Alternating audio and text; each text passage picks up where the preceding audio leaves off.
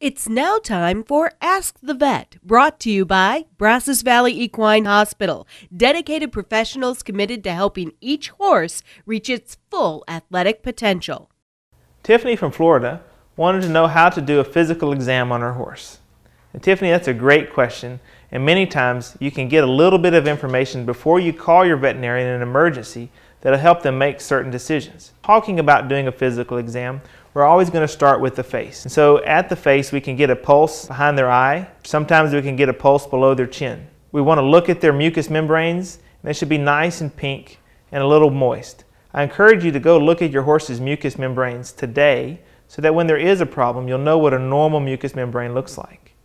In addition to getting a heart rate and knowing what color the mucous membranes are, you're going to want to get a rectal temperature. And in order to safely get a rectal temperature, you want to stand to the side of the horse before you insert the thermometer. A normal horse's temperature is 99 to 101 degrees Fahrenheit. A normal horse's heart rate is generally in the 40 to 48 range.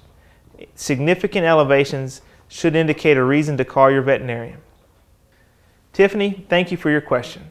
If you have other questions, come see us or look us up at bveh.com or on Facebook at Brazos Valley Equine Hospital.